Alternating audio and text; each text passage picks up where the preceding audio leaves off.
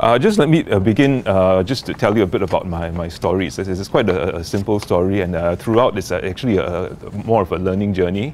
Um, like like uh, Rebecca mentioned, I think all of us at one time were, were very um, just young people, very very interested in music, and um, just you know just the simple things about music just thrilled us. You know, like how today. Um, you know, many people just join the band or the choir just because they have to join a CCA. But at the time, uh, uh, during the time that uh, I was in ACS, uh, for me, uh, just being in the band, you know, being able to join join the band, the, the wind band at the time, was something inconceivable because I, uh, of course, I had a piano to play at home, you know, and, and all that. But just to, to listen to that kind of heavenly music pour forth from the the 50 or 60 people with all these different instruments, you know, holding you know, different instruments, this was such a, a, heavenly experience for me, and it's something I felt that I couldn't even touch or, or, even kind of come close to because it was just too too marvelous for me to hear. Of course, I think if we all listen uh, from today's uh, SYF standards, I probably it's probably uh, not not something uh, not not very much. But at the time, it's just that overwhelmed me. And uh, when I received the invitation that I could join this symphonic band, I thought that there could be nothing in this world better than that. You know, I, I couldn't imagine anything in this world more wonderful, more glorious, or more fulfilling than that. And uh, you know that, that chance to just play amongst all these uh, these uh, wonderful uh, heroes, and you know I, I saw them as kind of superheroes these people playing euphonium and, uh, and a trombone and all that. And, uh, and what I hope is uh, what Rebecca says, that uh, from the time that we were 15 or when, you know, when you first uh, stepped into your, your first band or choir, that we never lose that, that, that, that reverence, that, that sense of wonder, that sense of respect for, for music, even its, its very most basic simplicity, that we will always hold it close in our hearts. So while, while I may not be 15 anymore, in fact, I mean, it's, it's more than just two digits double. Okay, so I, I hope that, that, that intensity, that respect, and that, that kind of a childlike uh, wonder and amazement uh, will, will, always uh, kind of linger and then will always drive us forward. Okay, so that, that's the, the beginning. And um, eventually I went off to study music in Canada. And when I came back, okay, that's the first part of my journey was that I wanted more than anything to join, okay, what, what every, every uh, uh, music teacher wants to, uh, wants to be in, which is a, a MEP program. At the time, uh, Raffles Junior College was one of the few uh, programs, and more than anything, I wanted to get into Raffles Junior College to teach.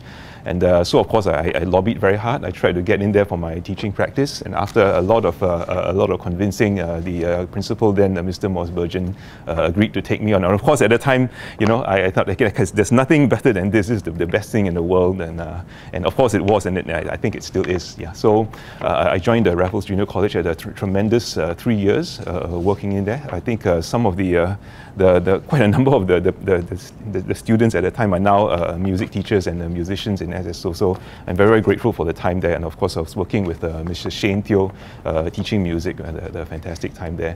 And uh, after that, uh, after the uh, three years in, in, RJC, I went off to, to study composition, went off to study for, for five years, went off overseas. And of course, when I came back, um, I wanted to, to, to, get back into RJC, of course, but they kind of told me at the time, oh, we can't, uh, we can't put you in RJC yet uh, because uh, there's, there, there's, there's, a, there's a teacher already there, but we've got to put you somewhere else uh, for, for, for two months, okay? So I said, oh my goodness, where are you going to put me? I'm not going to be in RJC. I couldn't imagine kind of being anywhere else but uh, RJC. So they said that, oh, we've got to put you in a neighborhood school. Um, so I was, I was, at the time, I was, also pretty, pretty uh, horrified at the thought, okay? Um, so they said, okay, we're going to send you to, to St. Theresa's uh, convent, okay, which is, uh, um, okay, so, so I said, okay, well, I, am just going to have to, have to wait it out uh, for, for two months, you know, before I can get back to, to my uh, familiar old uh, RJC. Uh, but uh, something something transformed uh, transformed me during that. Something happened to me during that time. I mean, the, the, the students they're not. They're, I mean, the, the furthest you can get from from your, your RJC, your music elective kind of students. Um, they were very real right? And uh, they loved music. Maybe not the kind of music I, I was, in a sense, trained uh, to, to, to present to them, you know, because after all these years of training, after, you know, I, I can, uh, I, I, was actually trained to, to basically deliver, deliver to them like Haydn, the music of Haydn, uh, analysis of Beethoven, uh, looking at the set theory and, uh, and series and all, all these kinds of things. but basically, when, I was, when I was confronted with these students who were in a, a, non-academic, what do you call a, a normal academic class or, or normal tech class, You know, um, nothing that I had acquired, none of the tools I had acquired over the last, uh, um, you know, the last few years, none of that was of any use to me. I couldn't use any of that, so I, I had to basically kind of construct a, a curriculum uh, from scratch. And of course, uh, I, the first question I asked, which is the most important question, what is it that excites you? What kind of music that excites you? That excites you? Okay, of course, it wasn't like a Mozart or anything, or even like a jazz or anything. It was like a, the boy bands of the time uh, Boyzone and uh, all kinds of uh, Michael learns to rock and uh, okay, still learning or, or who's um, uh, although so so basically we had to kind of uh, deliver a kind of a curriculum from scratch. And the, the, amazing thing, the miraculous thing was that after two months, I said, "This is where uh, I want to stay," uh, I'm, I'm, and I had to turn down the the RJC appointment. And so I had a fantastic uh, uh, two years uh, teaching in St. Theresa's Convent, just delivering very very basic curriculum and getting people who students who didn't have music background just just to love music and get excited and to think about music. So I think that these were two very very interesting and um, experiences of my life that got me to, that opened up my life to uh, two different aspects of, of uh, musical uh, life in Singapore. And then after that was, of course, um, uh, I spent uh, 15 years in, uh, in um, NIE, Right. Okay. Just had to think for a while. okay. Spent 15 years in, in NIE, and I think I, I, I, over that time I got to meet uh, many of you. Um, I had the privilege of uh, many of you kind of coming through it, through its portal, and also I think that there's some of you who, who I didn't teach. I think those who, who came after I left in uh, 2011, and uh, I think that that was the, the next uh, big big revelation uh, in my life when Mrs. Chu um, offered me this invitation to, to come and work over at SOTA, and that actually opened an entire new vista for me um, compared to being in uh, NIE because over, the, over here I, I, saw the possibilities of music, not just music in itself, but how music was able to connect uh, to, to, so many other things uh, in life, uh, to the sciences, uh, to the humanities, and how music could connect to all the different art forms like the dance, uh, the visual arts, theatre, film, and all of a sudden, I mean, the, the whole scope of, of music itself became so, so much widened for me, and it became kind of started to encompass real life rather than just kind the musical score. So I'm just uh, very, very thankful for that journey. And uh, perhaps what uh, I'm, I'm going to, to, discuss with you and share with you uh, comes from a kind of interaction from all these uh, very, very disjunct and varied elements of my, my career. And hopefully it'll be of some, some, some interest and some encouragement to you. Okay. So we're just going to talk about some, some rather uh, uh, critical and uh, crucial issues um, uh, about that, that kind of face us uh, this year, especially since we're going into uh, SG50. questions of, of what, it, what um, identity means, what it means to have a Singaporean identity in music, and also um, what's, the, the, the, what's the current state of arts education in Singapore, and what is the role in terms of preparing students and the people who are going to be leaders and effective people who are going to, to, to to, in a sense, populate the next generation of, uh, of, of, our, of, our, country's growth and to make it thrive.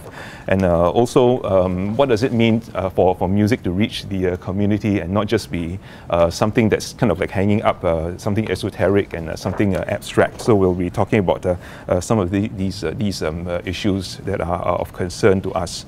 Okay, um, and maybe right now we'll just start with um, uh, this this question about uh, what what Singaporean uh, music is. Okay, so it's, it's a kind of a question, and I also welcome your, your views on that, and uh, just uh, just to offer a few ideas. So, you know, uh, through my years in, in as a composer, a lot of people have often posed this question: What is Singapore music? Right? What, what is music? Uh, what is what is music that's Singaporean? And I think this year also we were asking the bigger question: What does it mean to be Singaporean, right? I mean, um, you've, you've, got all these uh, campaigns. Okay, what um, in SG50? How do we uh, celebrate our Singaporeanness?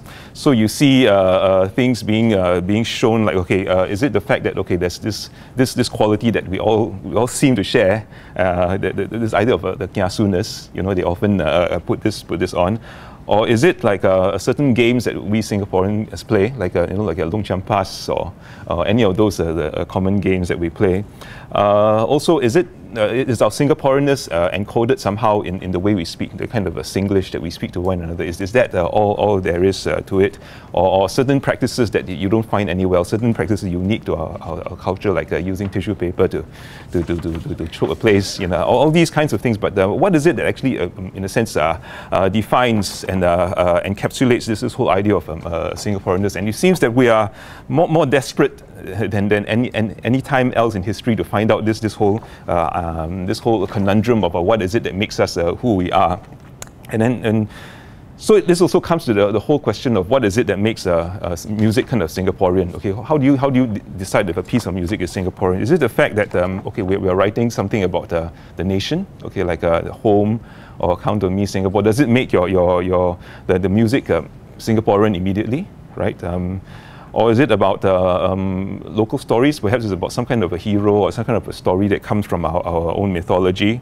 Uh, or it could be about a place like uh, maybe uh, Di Tanjong Katong or you know a place in Singapore, Mo um, and I, I know certain composers has written a, a, symphonic work based based on a, Red Hill. Okay, uh, so there, are all these uh, the, um, uh, interesting ideas, or so.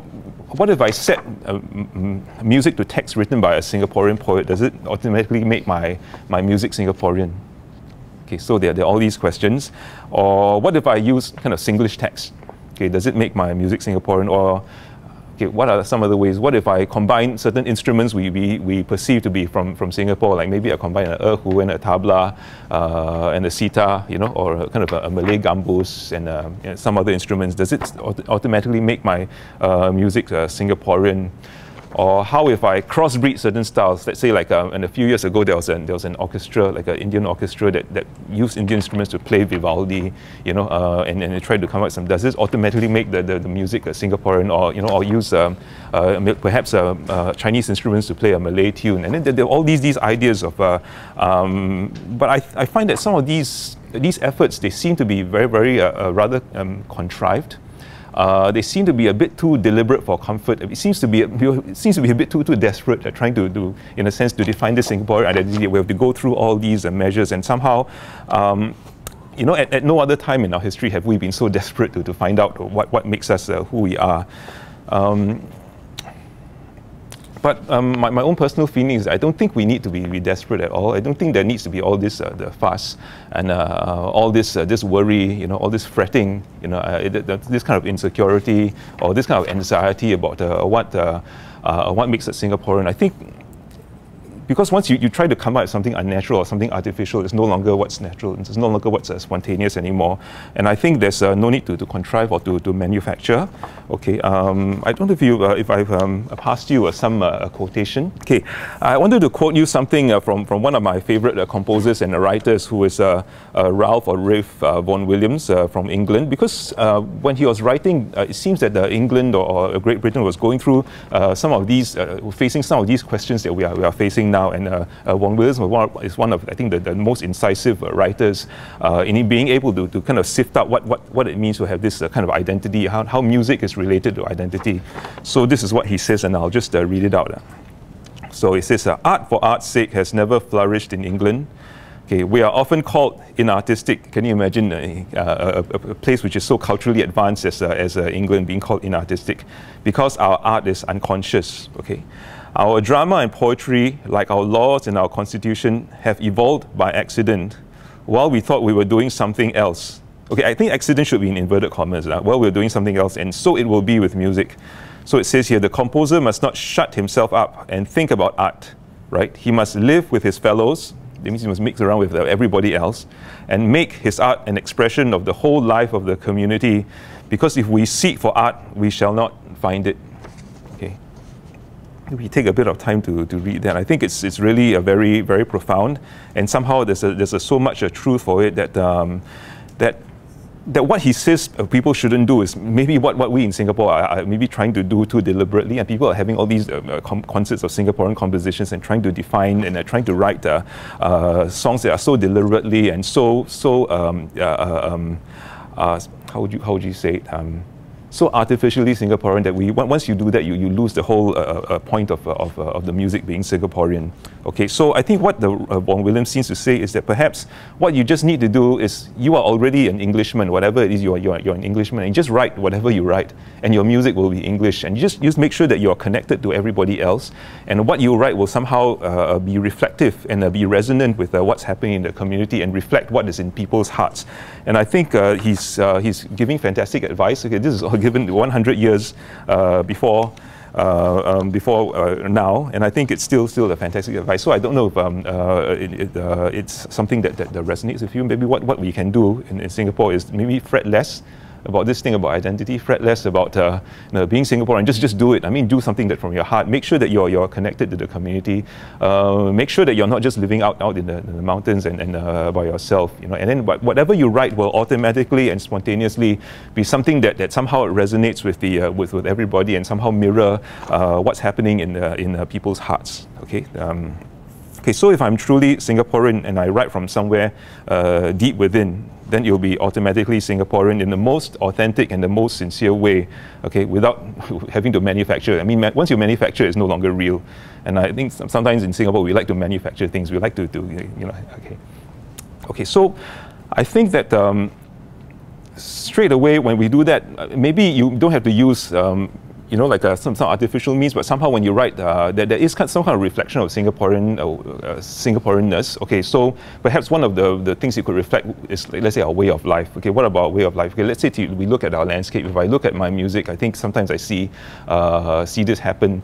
That in Singapore we have a very very, very dense, uh, kind of almost cluttered and complex kind of like um, architectural landscapes, and I think somehow um, somehow in the, in, the, in our music it may capture some of that that kind of busyness or even in, in, the sense of the, the way that uh, our pace of life is, uh, is, uh, is, is, very fast. And, and somehow I don't know if that, that's also kind of captured in our rhythms, which are a bit kind of like, um, not to say frenetic, but very, very kind of driven, okay?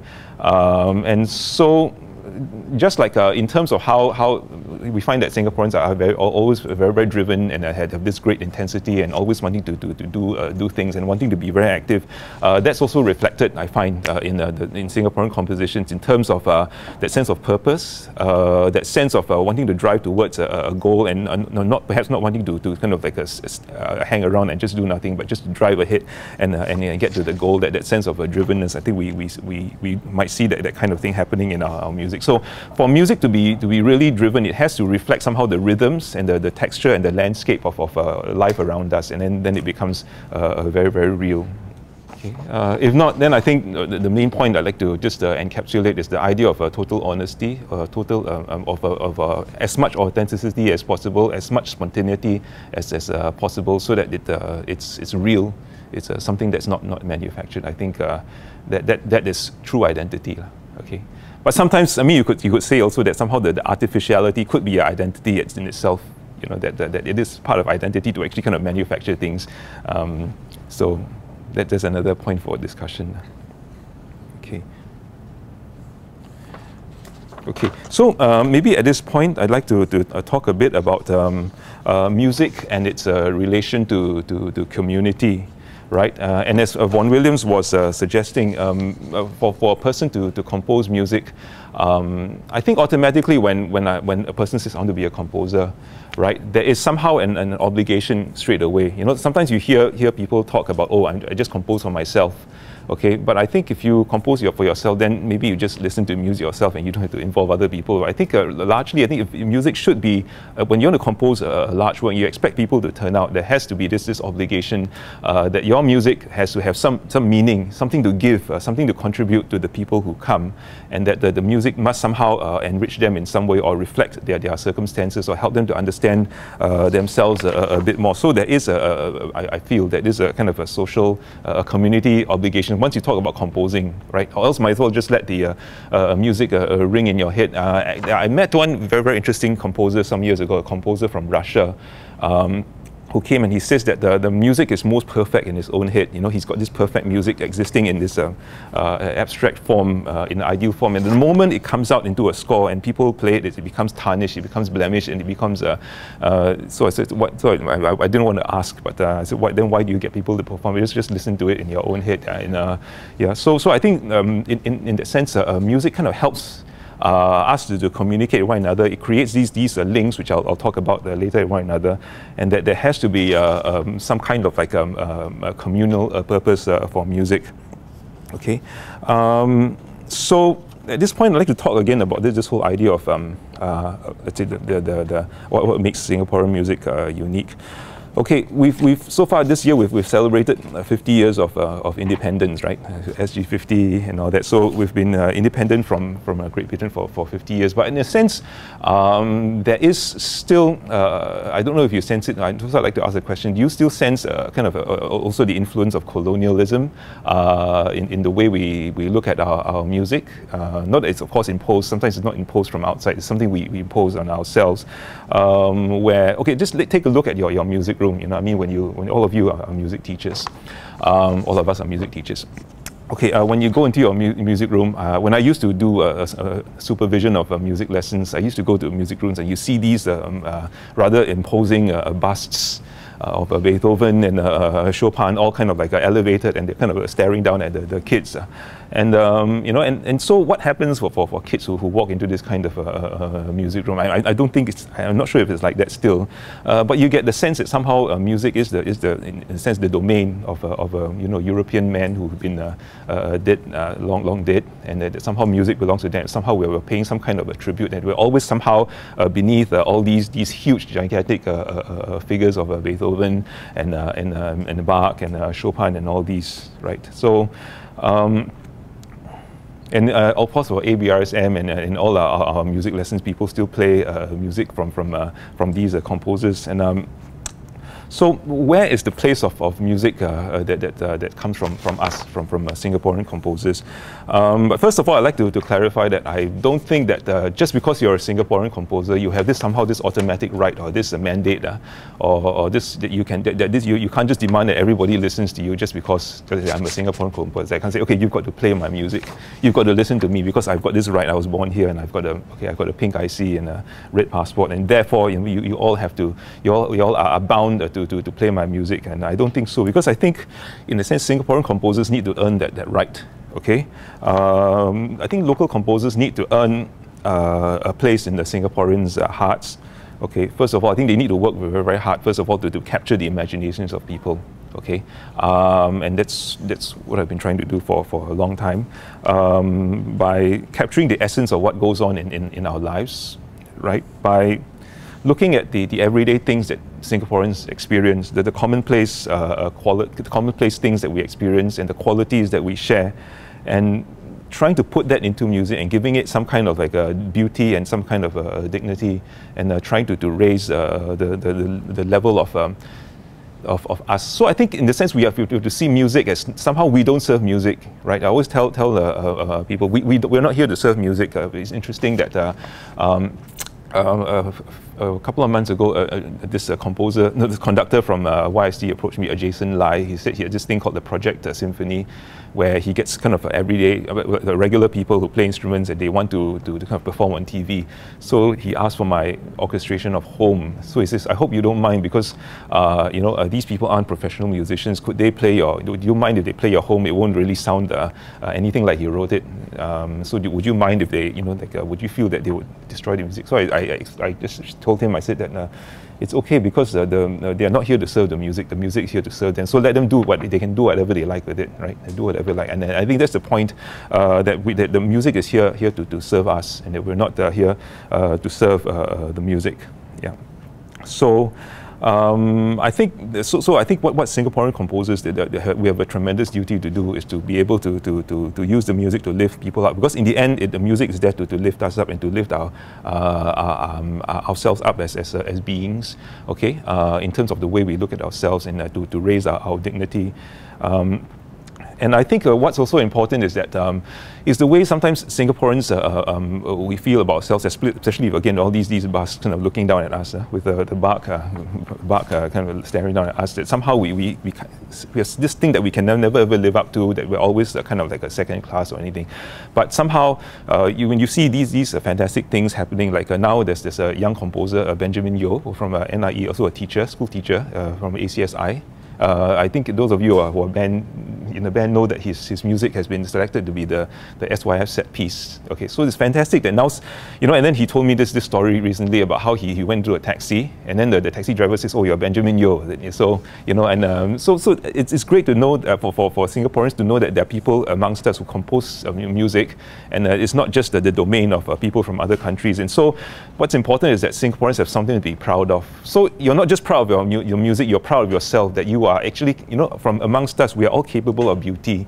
We're all capable of something, something fantastic. We're all capable of not, uh, you know, apart from just manufacturing hard drives and, uh, and stuff like that. Okay, that, that we are capable of uh, uh, creating something that, that, the world is interested in. And of course, Benjamin's music is, is, uh, is uh, distributed all over the world, his, his band music. Yeah, so um, just to give uh, uh, children the sense that uh, there's something that they can be proud of that comes from amongst, amongst them. You know, one amongst them is actually written this thing and not this guy from far away from 100 years ago, 200 years ago, someone from today. And that gives a sense of uh, pride. Okay. But I think this, of course, this doesn't mean that uh, Singaporean uh, uh, musicians just, just play Singaporean music all the time. I think, of course, there's, there's a huge, long uh, tradition, right? A tremendous uh, tradition of, of music. And I think it's very important to be schooled in it and to, to learn from the music from the past. And not just from the music from Europe, but also the music from Africa, music from India, from, from China. I think to, to be schooled and to, to, to gather all these things and somehow so that it can enrich our creativity today. Okay, and it's just like how we shouldn't just kind of close ourselves up, just like how we travel overseas to open open our minds, right? Uh, and, and we visit lots of places. But finally, when we come home, there's this place that you can put your feet on, that you can stand upon, and you can say, this piece of land uh, is my own. Okay, it's just like our own, Singaporean music. There's somewhere we can stand upon, because without that, we've got nothing to step upon. We're out in limbo. We're just floating in the air, right? And so what Singaporean composers or, or, or musicians have to do is something very important. We're actually carving a piece of, of so-called musical land uh, for, for, for us as Singaporeans to step upon and say, this is mine, right? And no, no one else can uh, say that it's theirs, and this is, this is something I can step upon, and uh, I, I'm, I'm going to be stable here. This is who I am. Okay. So maybe at this point, um, are there any, any things you'd like to discuss? Any, any, any, any interesting ideas that came into your, your mind that, that you'd like to bring out? Yeah, yeah, yeah, and see.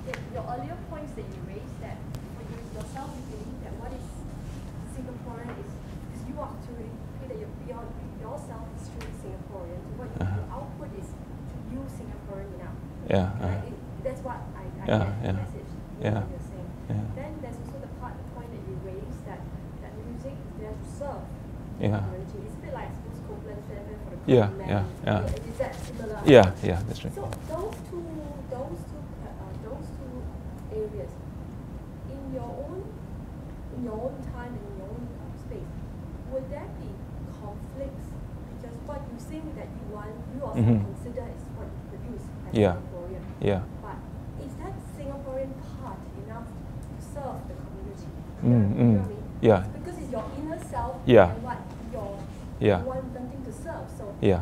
is that a conflict or Yeah. for yourself? I mean, for Yeah. yourself personally. Yeah, that's a, Yancy, that's a very, very interesting question because then you have the, I mean, uh, this whole idea that, okay, as a, as a person, you have your own so-called uh, artistic uh, uh, vision.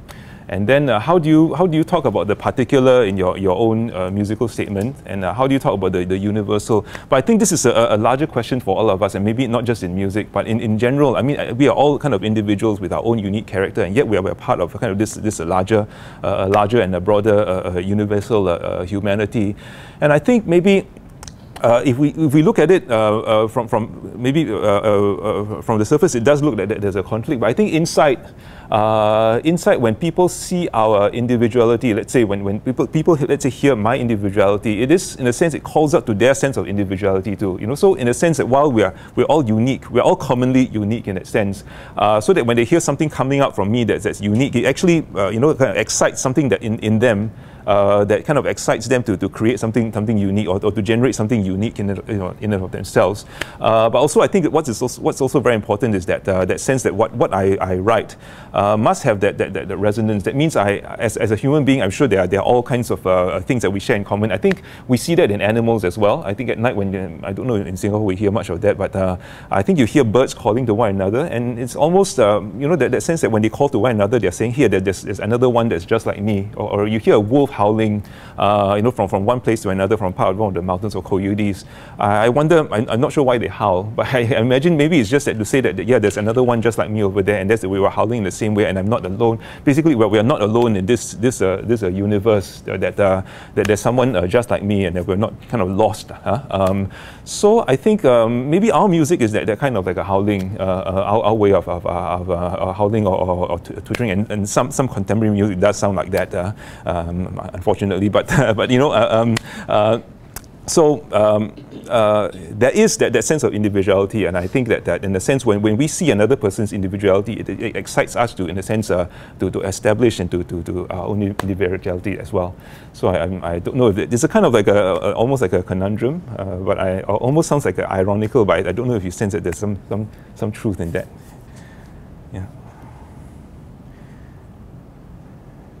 Any other points? Um, yeah. yeah. I think a lot of the students we, we get the Singaporean young their first exposure would be through their instrumental lessons. Mm-hmm. So is it something in the schools that you feel that maybe composition is the way to go to find this sense of Singaporean identity? Mm-hmm. Whereas I mean like we have had successful yeah. Singaporean musicians and uh, performers yeah. yeah. But is this in your view is composition yeah. maybe the way to go kind of yeah, yeah. get yeah. Yeah, I think so. I think uh, like uh, this, this, is something uh, that uh, some some educators and uh, uh, have, have been working on. Like there's a Professor Lum Chee Hoo. I think he's been working on a program for that that, that kind of enables Singapore the, Singaporean children in schools, and that you don't really have to be like a, you know, trained in, in music or anything. That just to get involved in a creative creative work. And I think we, we have to get that uh, get it out of our minds that somehow a composition is for just a, few people. You know that uh, somehow you know I, I can't uh, uh can't compose. But I think that there are ways. I mean, composing is more than just a, kind of being trained in uh, harmonies and chords. That people who maybe not schooled in, in terms of putting chords together. I mean, there, there are ways of, of putting kind of the sounds together from them. And I think uh, there, there, are also ways for them to create beautiful things without that kind of rigorous years and years and years of training. And I think that's just another important thing that we're going to talk talk about later, which is actually uh, in terms of uh, creating uh, the or for us to be able to train the, the, the, the, critical thinker of tomorrow. Now, this is apart from training musicians, but I think Singapore needs a lot of critical thinkers, and, and music lessons do have a very important role uh, for doing that. And so, yeah, this is an, an issue that we will uh, discuss uh, uh, quite a bit later. Yeah. And I don't know whether you, uh, as, a, as a Singaporeans, you sometimes when you're asked to teach about Singaporean music, do you find yourself hampered uh, by the fact that, you know, you look at, let's say, like, like, let's say, imagine you're in an Indian school or a Chinese school, or even in a Hungarian school or German school. I mean, there's just such a huge, rich tradition to draw upon of German music or even like a Bulgarian music uh, or even like a Chinese or Indian music. But uh, what are you going to draw upon that that's a Singaporean? Do you, do you sometimes find yourself having a problem when your children, I mean, know, your students ask you, oh, so teacher, what's, uh, what's uh, Singaporean music? And are you kind of left uh, kind of like a dumbfounded and uh, embarrassed about what to say? What, what, what's your response usually? Anybody? Do you feel it's a uh, embarrassing, or when you go overseas and people ask you, okay, so we've got you we've got all this music, you know, you talk to a German, okay, you talk to an American, even they, they have like jazz or right. Uh, you, you, talk, talk to a Hungarian even to say, okay, we've got Bartok and Kodály, and so they ask you what, what you have, okay, and uh, so you, you, find yourself sometimes uh, uh dumbfounded, and uh, and is this is this something that, that, that kind of holds us back? Do you, do you feel? So we've, we've, of course, we've, uh, Singapore has had a very, very brief history, maybe, okay, okay so, so far only 50 years. Uh, but our, our, our, musical history seems to be filled with music from, from other places. For example, okay, you've got American uh, pop, and all, you know, or British pop, and like the Beatles or uh, Mick Jagger, and then we've got this, uh, um, the American the pop stars like Elvis Presley and all that from, from our history. And of course, now we've got the J-pop for, for a certain time. Now, of course, the, the latest is the, uh, we've got K-pop and, and all these other things, right?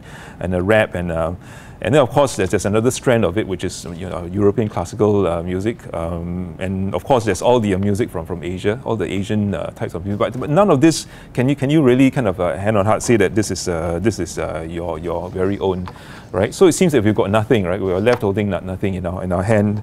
Um, but is it really nothing, I wonder? Yeah. Okay, I'd rather see it as not nothing, but I'd rather see it as, as, as everything Okay, uh, now how do, how do you turn this around? Okay, so I rather see it as an opportunity that it's not that you got you got nothing, but Singapore being this kind of cosmopolitan place, and uh, you know we've got such diversity, people coming from all over the world, and uh, I'd like to rather see that okay, we've got these these are nobody has monopoly over okay, Indian music or, or, Chinese music or Hungarian music, but these then become our, our resources you know, because Singapore is a, a place where people trade in, uh, in all kinds of uh, goods, uh, all, all, kinds of commodity, becomes also perhaps that, that kind of a trading point uh, for, for musical styles from, from all, all over history, from, from different parts of the world. And uh, who is to say that we can't uh, take any of this? And uh, who is to say that? Because when you look at how, even like a German music evolved, or Italian music, or Vivaldi, or Bach, their, their music is not kind of a purely German, or nor, nor perhaps was there such a place as Germany at the, at the time as well, right? I mean, the, the places all came from various sources, French, Italian, and uh, all, all these, these places coming together. So even when you look at the, uh, the music of, uh, of uh, China, right? The, the thing what we think of as Chinese music now actually came from also many, many different sources, a confluence of many sources, and it's actually how uh, things are put together, like how in Peranakan food we, we kind of combine different elements, and that's uh, is in the combination of different uh, uh um, uh, elements of a very, very disjunct elements that something new and, and very, very uh, vibrant and very, very fantastic is created. For example, when you take, take a look at jazz, it comes from the, the chant of, of um, African music together with Western classical kind of popular music, and together you have this fantastic thing uh, called jazz, and it comes from that this kind of a clashing, uh, uh, kind of like a of a very very disjunct cultures, and something fantastic comes about. And I think Singapore, why can't it be that place of this this clash, this this tremendous uh, uh, um, uh, co collision of music that um, that is so that you can't imagine how it can come together, but with the most kind of brilliant minds and the most genius, we can pull together these different elements and and put together something that nobody has ever created before. So I think um, we don't, while we have nothing, but the nothing becomes, becomes uh, everything. And in that sense, we don't really, we're not locked down by, by, his, by kind of history, because I think if, even if you're a, you're a, German, you can't help that, that Bach's kind of breathing down your neck, or, or Beethoven's kind of looking over what you're, you're doing, and then, uh, you know, there's all these looming shadows, but there's, there's, there's no shadow behind us, right? There's only a kind of light in, in front of us. This, uh, this uh, uh, fantastic light, and there's everything. And um, I think it becomes that freedom from being, bogged down, from being held down by, by any kind of like a, a, a past or a tradition, then becomes uh, uh, that, that freedom to go in any direction. Okay, and, uh, and, and, to me, I think that's the, the most fantastic thing about being in Singapore.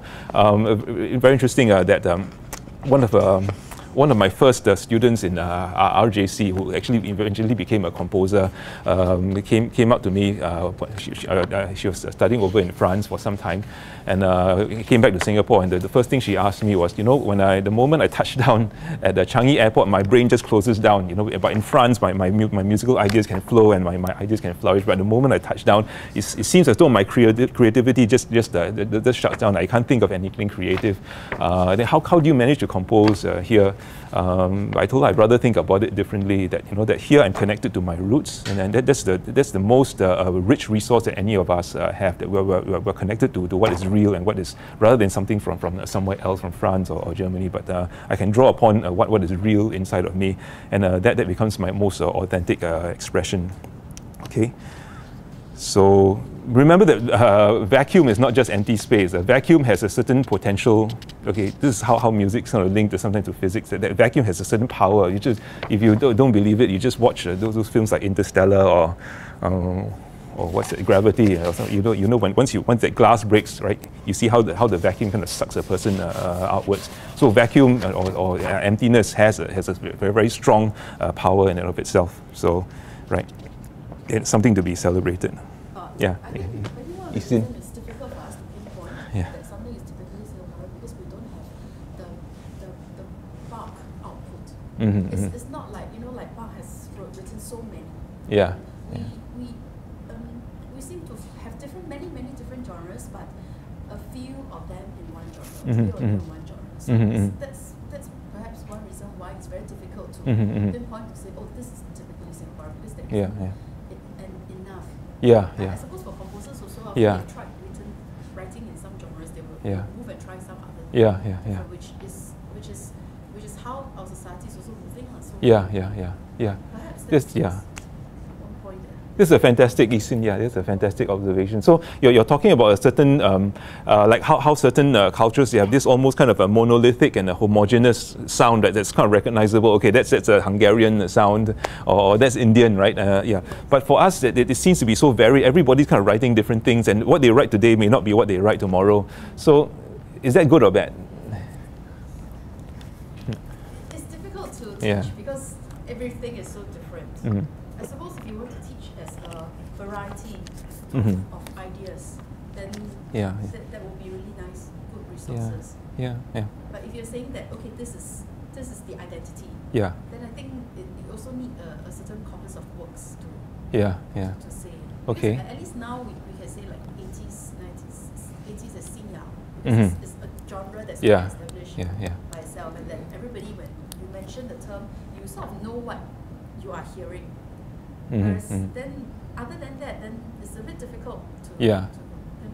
Yeah, that's right. And you listen to a Singaporean composer and say, what is that? You know, like, what is that? Or what is this? I mean, and, uh, so, yeah. So perhaps, but the Eason, do you think that that could be the other, the answer to it? That, that very diversity, that very lack of, um, you know, okay, that very inability for anyone to pin it down to this one thing or, or that one thing, that is identity. It's, could that be identity in itself? It's very, very uh, flux. Uh, it's very, very dynamism. It's very in a, s- a propensity to change you know, and to, to, to change colors uh, from, from one moment to another, almost a chameleon-like. Uh, um, uh, could that be an identity in, a, in and of itself? It, but that reflects the way that Singapore is. You know that it's we. Um, Change yeah, that change. it's. Uh, yeah, yeah. And maybe and, and is that maybe that's a good thing as well because it, it shows that we're, we're on our feet and uh, and maybe it's not uh, you know and we kind of leave a trail of, and, and when we look at the and maybe okay maybe in a sense uh, you know there's not this one large uh, unmovable fixed thing called Singaporean music but when, when you look at Singaporean music it is a, it's actually a, a- a journey okay from, from this from, uh, from, from this point to point it's actually something that's changing changing all the time and it's a dynamic and maybe that's what that's what makes it uh, it makes us uh, our, our music uh, you know our, our- ability now because we- we've got no no past uh, and uh, basically we're, we're, we're also kind of finding our way uh, maybe that's what that's what makes it uh, exciting and dynamic and uh, maybe that it will have some appeal uh, uh, for, for the for the world and it reflects uh, maybe the way that Singapore is, I mean, you just compare, compare 50 years ago to now, you know, it is that journey. And, um, and the thing about Singapore music, you know, we always like to think, okay, this is it, but it's, it's never complete. It's something, tomorrow we don't, it will become something else. And maybe it's a, it's a kind of a dynamic, uh, kind of a collage that, uh, that every time a Singaporean composer writes something, uh, it is a collage that's actually getting bigger and bigger and more exciting. So kind of like a universe that's kind of a, a world that's kind of expanding and bigger and bigger and uh, creating it itself. Uh, yeah. And I don't know, maybe that, that is a kind of identity, a lack of, you know, yeah. I don't know. What, what do you think? Actually, I think what you said, you know, in the German tradition, I think about 100 over years. Right? We're talking about, you know, evolving everything, every span in the romantic era, almost at 100 over years. In Singapore, it's only 50 years. And I think I like your idea, the fact that, that what you're saying, it's, it's not that it's ever changing, but it's evolving. Yeah, yeah, So that our, why are we so impatient to lock down an identity Yeah, that yeah. now this is our identity, Yeah, right? yeah. You're, you're yeah, yeah, So if we can see that our identity is something that is evolving and we should Mm. take pleasure in enjoying the journey, yeah, yeah. rather than be patient and say this is our identity. Yeah, this is it. what you're saying? Yeah, yeah, I think I love that, that, what you say. It's, it's, it's not so much changing, but it's kind of evolving, and uh, and maybe that's just something that, that's uh, that's great about it. And uh, and um, yeah, I, I mean we, we like evolution, right? We like uh, yeah, it's, it's it's exciting. You don't know what's coming the next day, and But I think the dilemma is that for most teachers, that to the student or local students, they're trying to find a fix. yeah, Uh, which I think that's where the teachers we might need to think Mm, of it. mm, mm, Because I'm, I'm not a local. yeah, yeah, So I somewhat can see it on the other side. yeah, I think we should just take what you were saying earlier, yeah, that music to be music. yeah, So the student will understand music is just music, but within themselves, yeah, Let's say you are a Singaporean, you are born here, bred here. You take, you write or you take a piece of music, you perform that piece of music. That is Singaporean music because you the one deep down with you, you root in it. yeah, Therefore, you perform that. Let's say I, I gave my student uh, a foreign piece of song. And I said to them, can you gather together and perform it the way you think it is? Then they will perform an Australian song to be become Singaporean style Mm, mm, mm. Then I cannot say that is Australian songs anymore. I can say it is composed by a composer, but now it's yours. then in that sense, I think a student would say, hey, if I'm singing, I'm not a local and I'm singing national anthem of Singapore, as long as I don't sing the lyrics, I sing music itself, it's just a piece of music. Mm-hmm, mm-hmm. If not always they will say there's identity identity lockdown, mm-hmm. then it's very hard. Mm-hmm. Um, and as, as well we all agree that why is a singer always be put, put on forward? It's because Singaporean think that is an identity locked in. But yet again, uh, uh, as we were discussing earlier, even with Xinyao period, half these songs are not really so-called mm-hmm. local, but music itself, uh, you can take them because it's sang by Singaporean. It was produced, some of the pieces were produced by local, therefore mm-hmm. we check that. Because in, in Singapore, to me anyway, it's a very global setting. So sooner or later, our idea will be changing also because mm-hmm. your city gonna become a lot more mixed how can you say this is uh, a Singaporean uh, music, or if not, you look at even classical composer, why are they moving around? Mm-hmm. It's just because they compose many songs, so they become an icon of that country. But as we earlier said, they have 100, 200 years, Singapore only 50. But I do believe the next 50 years, it will all go jumbled up. Um, the, the very obvious scene for me would be the pop genre because in Singapore, you say, so do you know what is the pop genre of Singapore music? Don't know. But yet it was composed by a, a local composer. Mm-hmm. Um, but then if they listen carefully, literally, I, I do think because uh, you are as a local, you're Singaporean, you will inject that element into your. It's just a matter of you understand the music itself. Mm-hmm. I think you can call it that would be your identity of the, of the piece at that period of time. Mm-hmm. So sometimes we kind of freeze it for that time, mm. uh, what, in that, that point of evolution well. Yeah. Any other views before we? Okay. Then if not, uh, I'll just we'll just uh, move ahead. I'll, I'll just uh, maybe talk a bit about them. Uh, I think they, they asked if I could talk a bit about uh, con compositional method, and I'll just share a bit about that. I'm just going to share some music with you for your for your consideration. Okay. Um, so um, I just like to sh share that uh, when I when I write this this stuff, I kind of I've been writing stuff uh, for quite some time.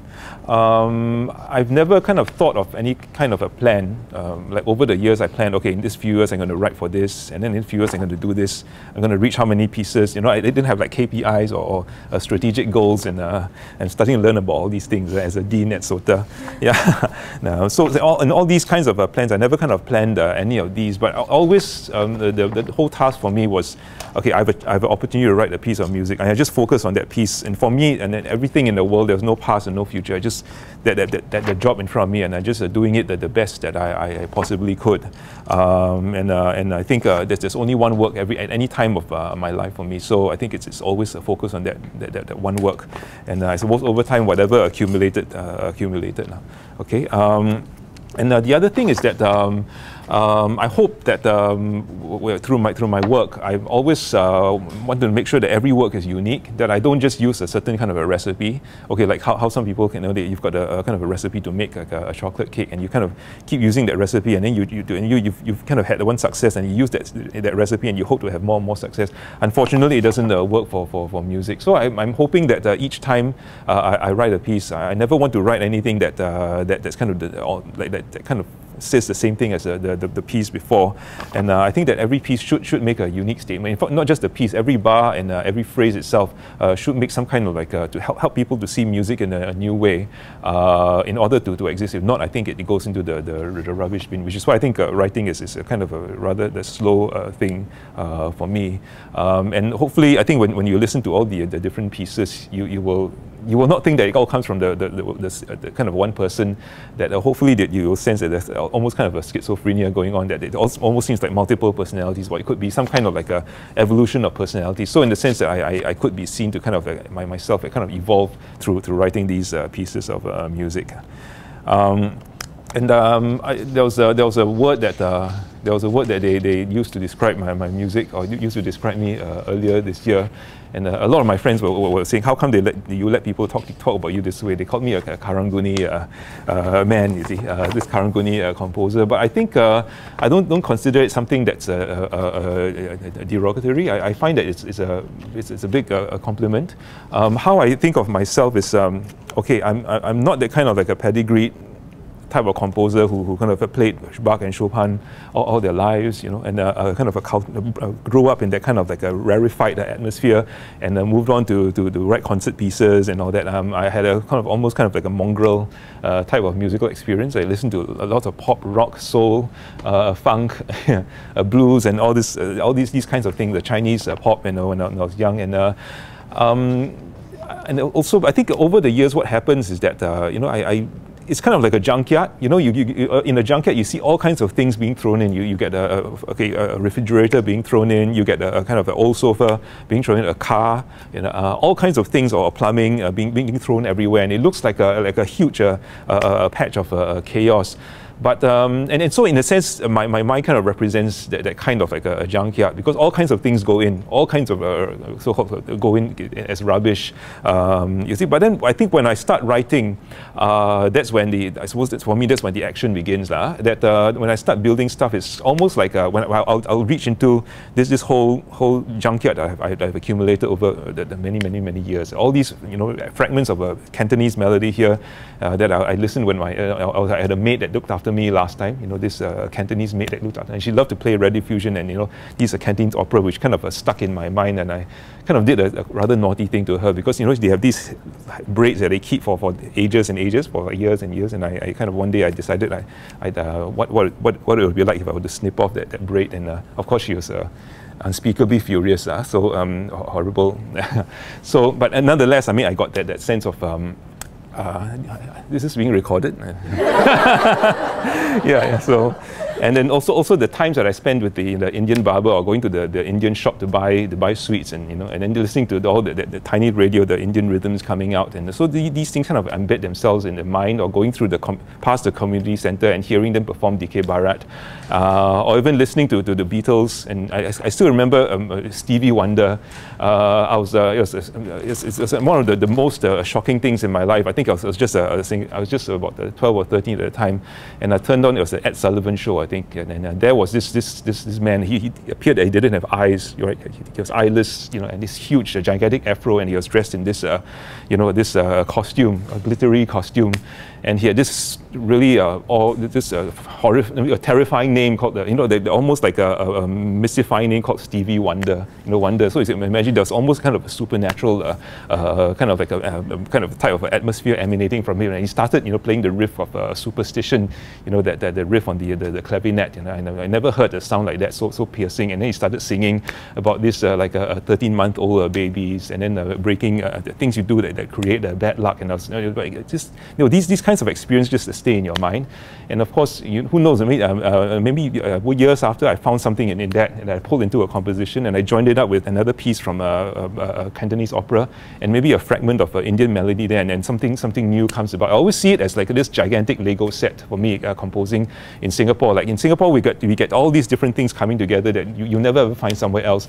So it's like having a, a Lego set. I'm not sure how many of you uh, enjoy playing with Lego. It's like having like a, a girl's uh, kitchen set, you know, a Lego kitchen set, and then you've got the Star Wars set here, and then maybe a, a, fireman set there, and then an astronaut set. And you can all these pieces that have nothing to do with one another. But what's interesting is being able to put together pieces from different uh, Lego sets and building something that that no, no Lego executive have ever thought of, and something that, that's entirely your own. And I think that's uh, uh, that's that's what's wonderful about uh, composing music in Singapore is like uh, having this uh, tremendous uh, kind of a junkyard, lah.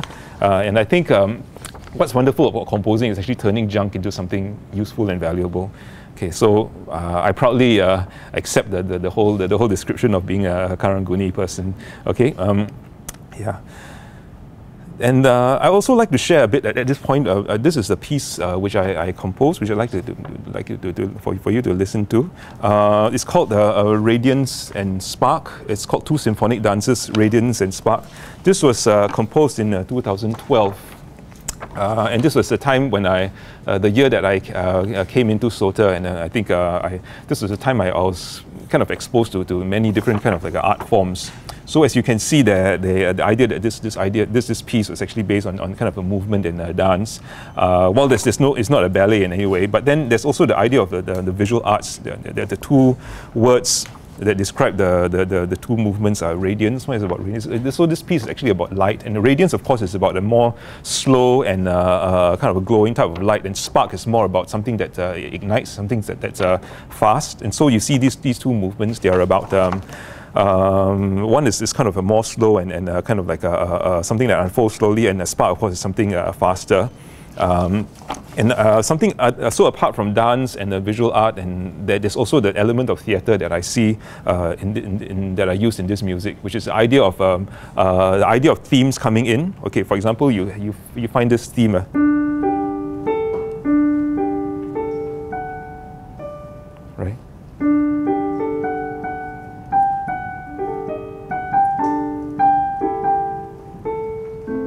So there's this uh, this theme from uh, from the beginning of Radiance, which is which is which I can, I can call the Radiance theme.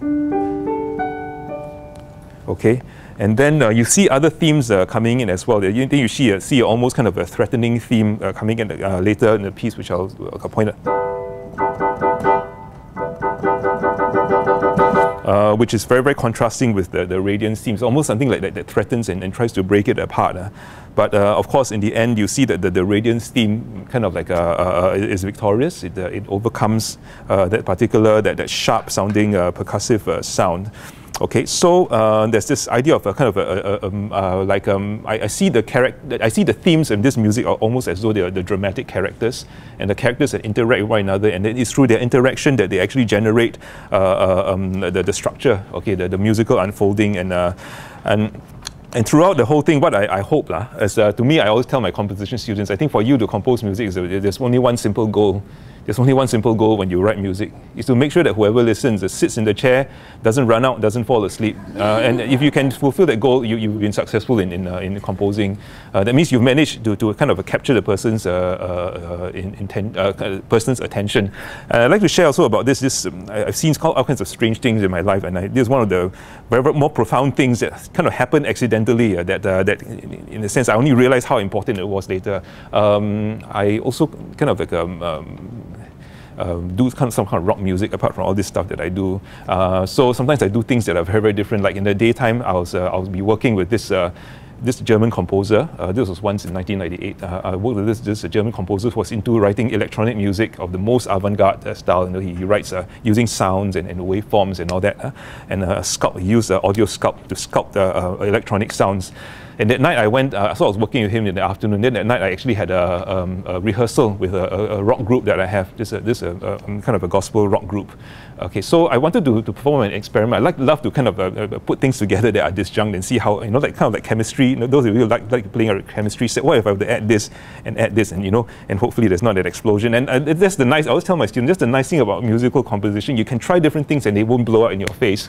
Okay, and uh, you know you, they, they won't uh, nothing bad will happen to you as, as long as you just you know you just hurt your ear. That's all. You know? I mean, uh, but. Um, um, so I, I, what I, I, did was that I wanted to try, try this experiment. So we had all these singers who had never listened to avant-garde music or listened to classical all their lives. If you have listened to rock and pop, okay. So I, I, took the recording that I had made that day uh, and, uh, of this, uh, you know, like uh, avant-garde sounds. You know, no notes, no rhythms, or I mean, no real harmonies or no kind of fixed rhythms in any way. And I, I, when he came in, uh, one of the first singer came in, and I kind of played it in the background. So I started talking to him. Okay, so he, uh, as I conversed with him, uh, this this this uh, this uh, gentleman kept uh, getting distracted. You know, I was just conversing with him about everyday things. Okay, how his dinner was, but he kept listening to the these this, the, the, music that was coming from behind. You know, and uh, so after a while, I started asking, "How come you're so distracted? I mean, how come you, how come you I can't carry a conversation with you?" He said, "I keep listening to that thing that you have there." He didn't call it music. He didn't know what it was. He said, "I keep listening to that thing that you have playing in the background." uh, and I keep getting distracted by it. So I said, uh, how, why? Why do you get? Why do you keep listening to it? And he, he said this thing, you know, which I didn't realize how important it was until many years later. He says, I keep listening to it because I keep wondering what's going to happen next. You know, and uh, I, I, kind of dismissed it. But years later, I found out that what he said, you know, this, this, this statement, and I hope you, you can remember this, and I think it captures the very essence of what, what good music is. I keep wanting to listen to it because I keep wanting to find out what happens next. And I think that is what uh, encapsulates the, the very, uh, uh, what, what good, a good novel is, what a good poem is, what a good uh, uh, um, you know, a dance performance is, or a good theatrical performance is, a good story or a good film is I you keep wanting to find out what happens next. Because of course we've all, we've all watched films before when you know when the advertisement comes we turn to another channel and we never want to go back again. You know like uh, I don't know if you watch films like that like uh, Anaconda uh, you know like um, where where you know everybody but Jennifer Lopez gets uh, gets uh, swallowed up but you just wish you know that uh, so uh, things like that, and you never, you know, it doesn't kind of hold your attention. But when you've got a good piece of music going on, and even you know, a good piece of electro- electronic music that uh, a pop singer never heard, it actually kind of held his attention because he wants to know what what happens next. So I think uh, in in the, the piece of music, I find it boils down to one one simple thing: uh, Do I keep? Uh, do am I able to keep you wondering what's going to happen next? to keep you interested, to keep you uh, concerned, to to make make make the person, whoever the listener, kind of fall in love with the theme and make you want to stay with the theme until the, the very very end to see what, what happens to it. Okay, so okay, maybe I'll just uh, play this and uh, we'll see how it goes. Okay, so this was uh, commissioned in uh, 2012 by Singapore Symphony Orchestra. Uh, this was uh, for the 10th anniversary of the, the Esplanade, because Esplanade, of course, you know, you know, it's they opened in 2000, 2002. So this was for the 10th anniversary, and they wanted something. So this is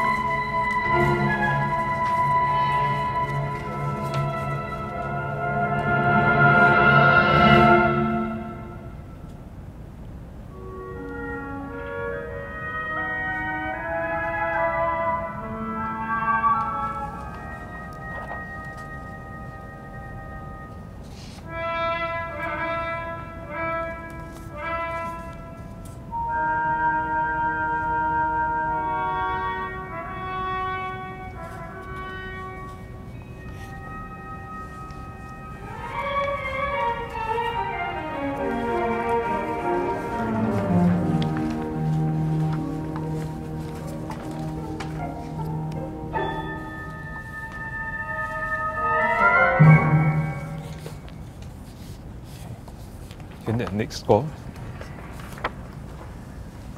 Okay, uh, so that was uh, uh, radiance lah. So I hope you can you can see in that you know, the, the, whole idea of uh, kind of bringing in. You can see all kinds of things happening in there. I don't know whether you hear this, this part from Michael Jackson and uh, you know uh, um, uh, Ligeti and uh, Penderecki all kind of uh, put together in the same place. Okay, uh, but hopefully you managed to, to keep your your attention. so this next one is a spark, but you notice this this this whole this spark has a kind of an um, upbeat movement. But you notice the, the how this theme kind of comes back, but in a more upbeat way uh, towards the end. So I, I, love to work with the kind of themes and thematic development as well.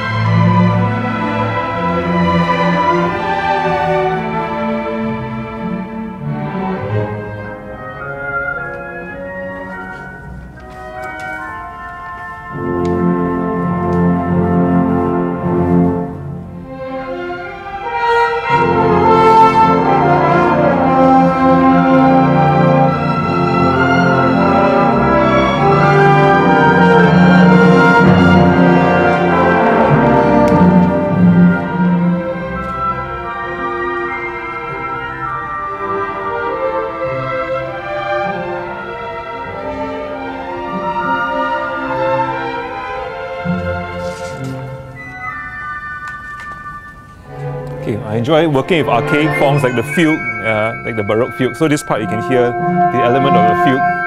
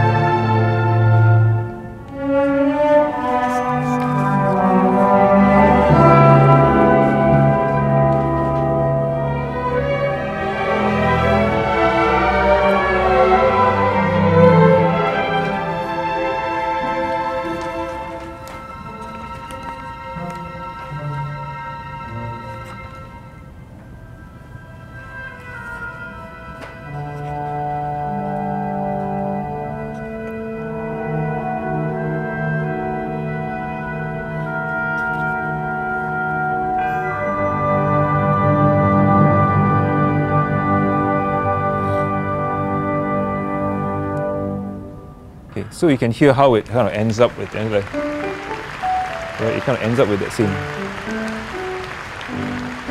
ends in the same key. I don't know why, I, it, I never planned it this way, but somehow it always ends up in the, the same, it's kind of like a homing, uh, homing in, instinct. Lah.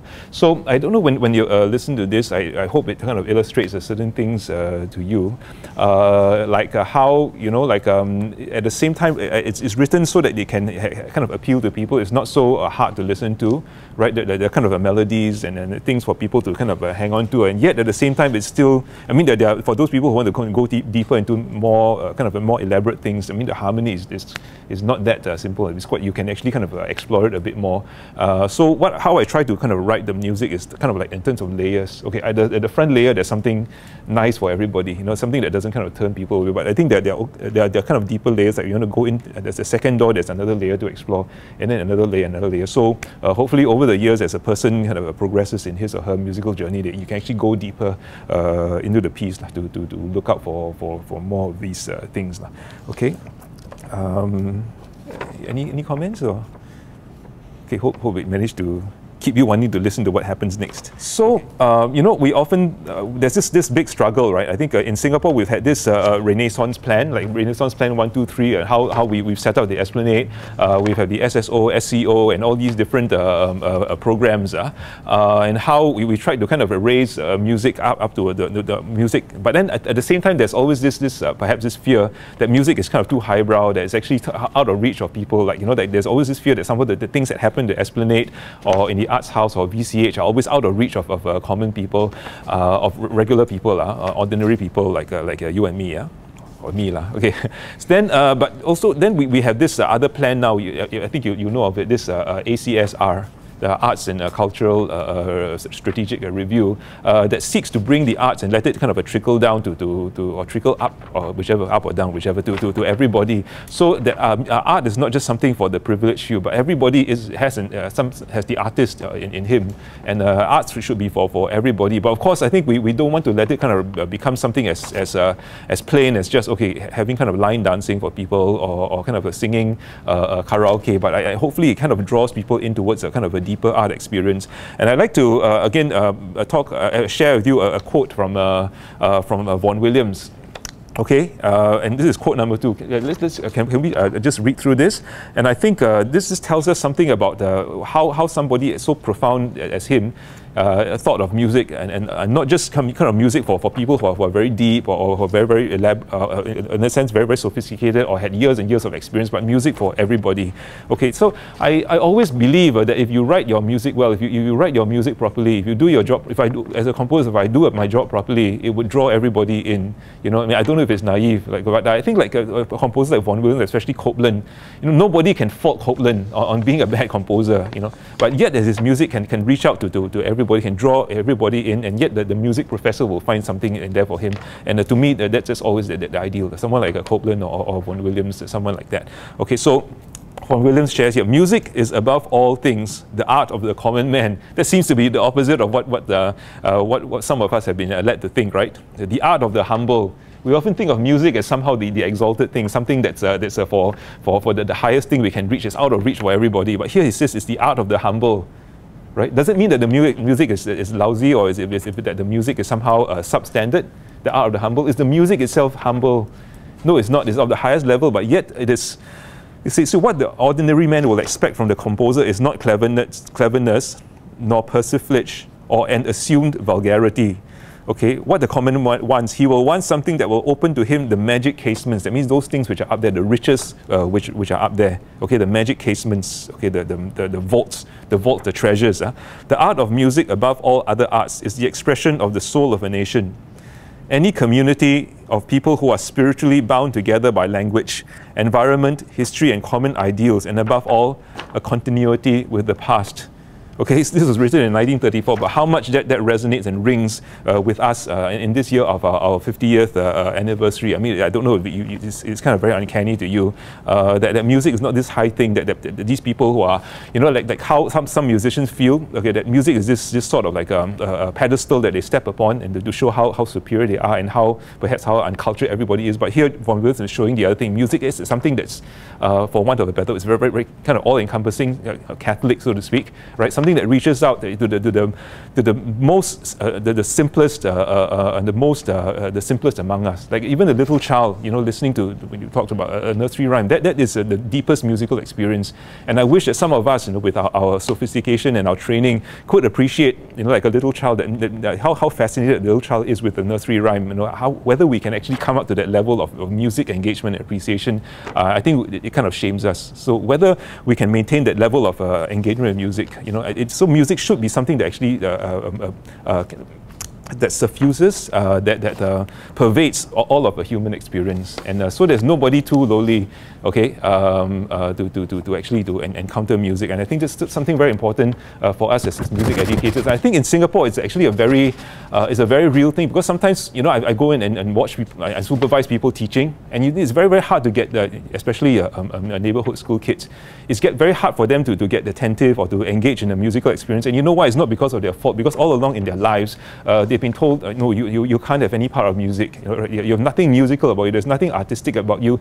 There's nothing beautiful about you, you're just a plain uh, uh, old, old person, okay? Don't ever hope to touch any of these, these magic casements. And that's why when you ask them to sing, I don't know if you, you, you see that, I, I see that sometimes the kids, yeah, you, we ask them to sing something, the, the, the most horrible voices, the most, most guttural sounds come out from their throats, and they make fun of it because they've, not because they're naughty, right? But because they've been led to the fact that they can't produce any beautiful sounds. But if we can turn that around somehow and make them feel that every there's, this beauty inside every single uh, one of these children and start off with the, the most basic and just help them to realize that, that beauty exists in, in every everybody, you know, and, and kind of live out uh, what, what Williams was saying. And it takes a, a, lot of courage for us as music teachers. I think we can actually move uh, move towards this, this whole ideal and, uh, and let music kind of like a pervade, uh, be the thing that not just gives them joy, but somehow changes the way they look at themselves and see themselves as somehow uh, beings who are, who are, capable of beauty, uh, capable of, uh, you know, who, who are, can see themselves with more dignity and can carry themselves with, with honor.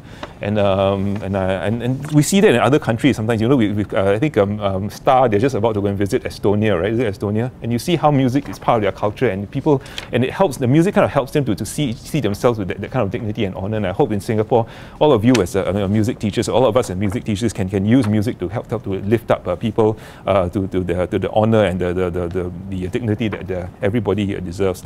Okay? And uh, very quickly, I also want to just share uh, a bit about um, uh, quote number three. Is not, not just uh, it's, it's, from today, just last year. Okay, from nobody as nobody more than myself. Okay, I, this is the quotation which I, I, wrote in the program notes for for this piece, of sketches of Singapore, which I'll share, I'll share just a, a, bit with you. Okay, community songs Okay, all of us make fun of community songs, right? Everybody makes fun of community songs, right? So uh, as children, we learn them in schools. We chant them in our playgrounds, right? I mean, uh, not in the most uh, uh um, uh, um, flattering way. And then we, we play them on, on recorders. I mean, have you heard a child kind of play on a, recorder? I mean, there's, there's nothing more, more, sometimes more grating than that, okay? So as adults, we dismiss these songs as being unbearably cheesy and we jest about them in parody. But nonetheless, if we take a look at these community songs, uh, such songs have seared themselves permanently upon our collective consciousness. That means they are, they are, if you take what is this that, that brings us all together here in this room, or all of us living in Singapore, or all these people out there walking walking the streets of uh, NLB now, it is these these community songs, right? It's these little channels of, of resonance between all of us that you know, when I sing to another Singaporean, I go to England, I'll sing that song out. Another Singaporean is kind of like a one wolf howling to another, right? He, the, the Singaporean will recognize that song, and we, we find our, our, our identity in that. So what, what I, I, I like to do, um, okay, which I think sometimes composers kind of uh, uh, uh, denigrate me for that. You know, my, my more sophisticated uh, colleagues say, why are you, why are you uh, putting tunes to, to, I mean, why are you orchestrating such tunes as Count on Me, not Count on Me Singapore, Stand Up for Singapore and all that. But what I do is I, I like to deck, deck such tunes in the most luxuriant symphonic splendor, and hopefully it will show, okay, and then subject them to the most intricate developmental processes. So the point of this is that when the mundane within us is transformed into the majestic, and when a path is forged that leads us from the simple to the sublime, we experience a kind of Cinderella effect. Okay, that's, that's for the listener as well. Okay, we start to see ourselves in a different light. There's a fresh sense of uh, self dignity and pride in the community right? Not just in ourselves, but we, we see each other differently. We look at each other not just as like something common and mundane. but we see start to see each other as uh, like a kind of miracles, right? As, as human beings. Okay, um, there's a fresh realization of self dignity and pride in the community, igniting renewed confidence for each individual to soar beyond his imagination and according to his own personal capacity. Okay.